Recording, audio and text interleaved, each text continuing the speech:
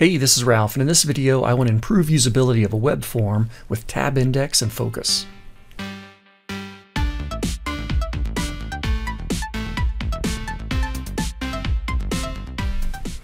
Okay, so I've got a form set up and it's it's already got the basic elements that I want, pretend elements of course, and I've already got some basic styling on there. Just so we can get a feel for how this form operates at the moment, I'm going to go ahead and click on my first text label, which will put the focus on my very first text box. It's hard to see, but my insertion point is in that first text box flashing there. And if I were to press the tab key on my keyboard, you can see it moves to the second text box. It's got a faint blue outline on there as well.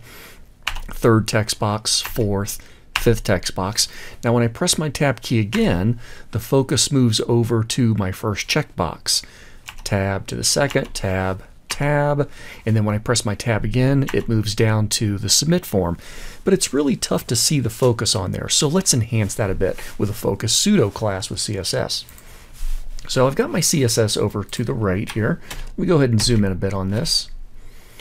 And I'm going to go ahead and create a new rule. This one's going to be for input, and I'm going to use an attribute selector for type equals text to get my text boxes. And then I'm going to do colon focus, comma.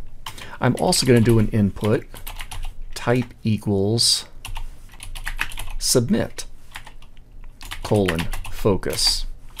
So I want to draw attention to both of these two kinds of elements. The basically the focus state of my text boxes and the focus state of my submit button. And I'll just do something nice and obvious. Background color, FF4, nice bright shade of yellow. I'm going to go ahead and save that. And now let's compare the difference. Now when I click on my first text label, you can clearly see, okay, so I've got that yellow focus. And as I tab through, I can see each tab box and now it moves over to the checkboxes, which I haven't done anything for.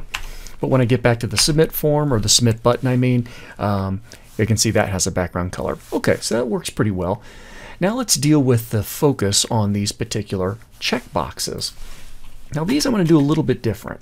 I'm going to do an input um, type equals checkbox colon focus plus label. Let me zoom out a bit just so that's all in one line.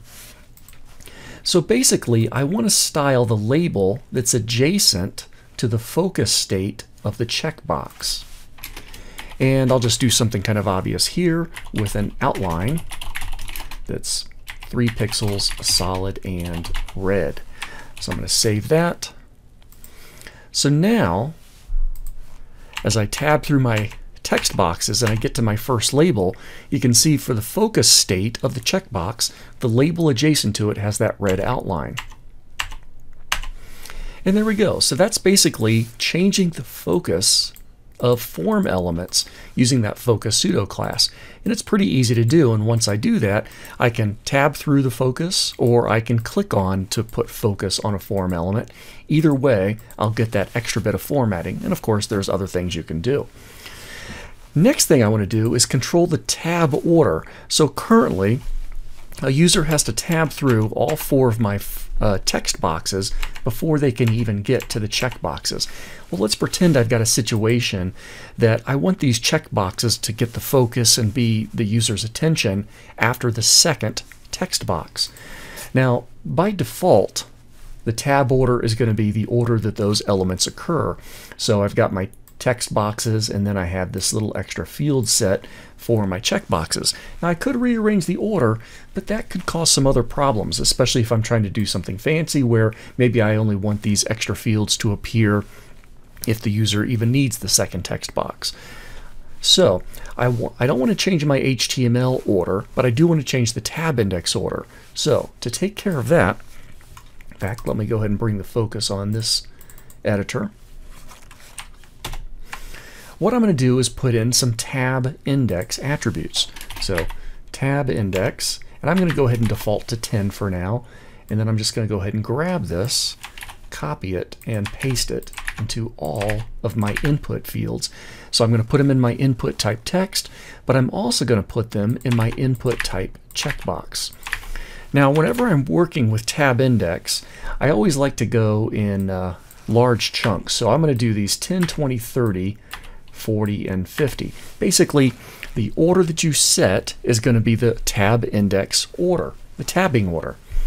Now, by putting in numbers like 10, 20, 30, 40, 50, 60, and so on, that allows me then to easily make modifications to something I add in after the fact.